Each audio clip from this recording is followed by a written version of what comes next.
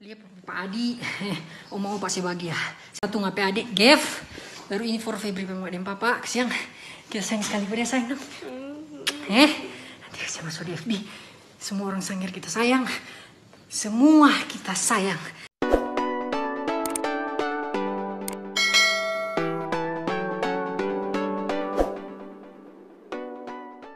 Beredar video pesan menyentuh seorang atlet taekwondo sebelum menghembuskan nafas terakhir.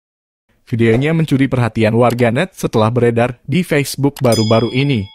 Atlet taekwondo Glenn Enrico yang menyampaikan pesan menyentuh melalui kamera ponsel.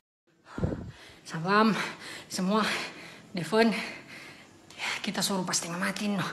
Nanti kasih terus juga apa-apa yang terutama for Devon. Kita PAD bersekolah bye-bye ya. Supaya si senang papa pak siang. Mama anak mama. Mama eh. Eh, oma, opa kita sayang sekali. Walaupun kita berdosa kasihan. Febri, pe mama dan papa. Sayang pada dia. Pokoknya dia mesti bagus-bagus. Nih, nih. Minta maaf nih, nyanak mutah. Apa ini kasihan? Teman-teman semua doa yang perlu star. Semua bye-bye nih. Sama nih. Nih. Devon, Mas sekolah bagus-bagus eh. Lihat Pak Adi, oh mau pasti bahagia. Satu ngapain adik, Gev.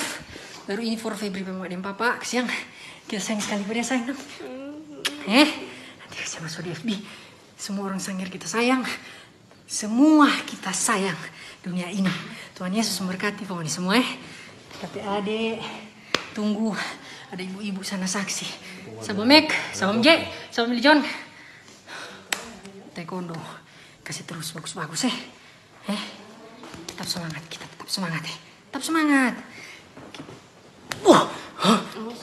Tung, tung, kita masih jauh berusaha ini. Papa, kita sayang sekali sama papa walaupun papa banyak yang salah. Mar, mama, tetap sayang sama papa. Eh, jaga juga adik bye-bye. Oma Pak Deng, semua, Oma Pak Binti, adik, kita sayang sekali. Mak Melan, semua, adik Abil, adik Fiona, Jenal semua yang di laut. Gelendeng, sayang sekali. Pokoknya semua. Eh, Tuhan Yesus berkat. Simpan terus video ini. Usai menyampaikan pesannya Glenn langsung terbaring lemas. Diduga Glenn mengalami sakit maag akut hingga menghembuskan nafas terakhir di rumah sakit. Diketahui Glenn Enrico yang merupakan atlet taekwondo asal Sangihe, Sulawesi Utara. Ia merupakan peraih medali perak ajang PON ke-20 Papua pada Desember 2021. Itulah tadi update video terbaru dari Transnesia. Jangan lupa pantengin terus video-video dari kami ya. Terima kasih Transnetik dan sampai jumpa.